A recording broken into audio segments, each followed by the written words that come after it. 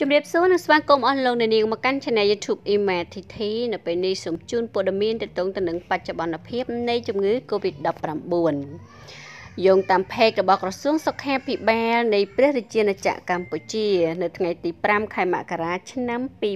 2021មានករណីវិជ្ជមានវីរុស Covid-19 ថ្មីចំនួនម្នាក់និងមិនមានអ្នកជាសះស្បើយ។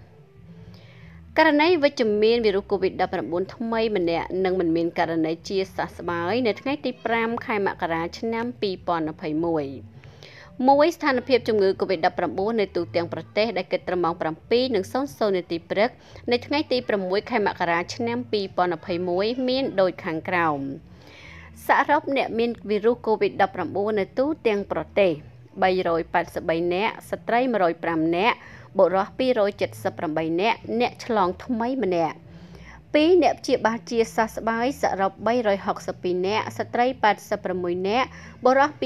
276នាក់អ្នកជាសះស្បើយថ្មីគ្មាន3អ្នកកំពុងសម្រាប់ព្យាបាល21នាក់ចាគឺការឡើងម្នាក់ទៀតចាថ្ងៃនេះស្ត្រី19នាក់និងបុរស2នាក់ ពីព័ត៌មានប្រចាំថ្ងៃទី5ខែមករាឆ្នាំ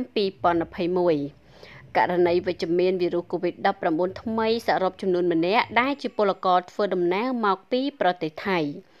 គឺជាបរិសុទ្ធជនជាតិខ្មែរអាយុ28ឆ្នាំ មានអាស័យដ្ឋានស្នាក់នៅភូមិផ្សារព្រំឃុំស្ទឹងកាច់ស្រុកសាឡាក្រៅខេត្តបៃលិន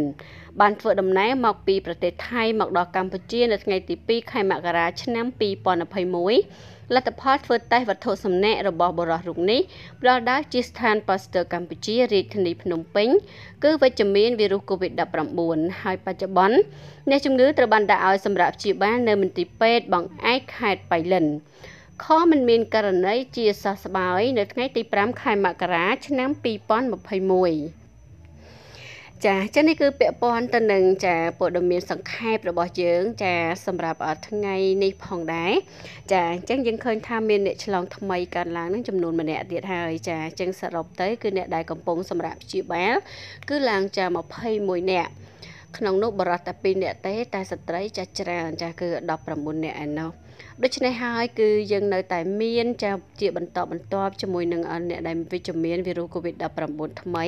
ជាពិសេសមួយរយៈចុងក្រោយនេះគឺពាក់ព័ន្ធទៅនឹងបងប្អូនប្រជាពលករដែលគាត់ធ្វើដំណើរមកពីប្រទេសថៃតែម្ដង ចាដូច្នេះហើយសូមបងប្អូននៅតែរក្សានៅគម្លាតក៏ដូចជាសុវត្ថិភាពរក្សាថែទាំអនាម័យខ្លួនប្រាណទាំងអស់គ្នាដើម្បីចូលរួមទប់ស្កាត់ការឆ្លងរីករាលដាលនៃវីរុស COVID-19 នៅគណៈពេលនេះផងដែរនាងខ្ញុំសូមអរគុណសូមជម្រាបលា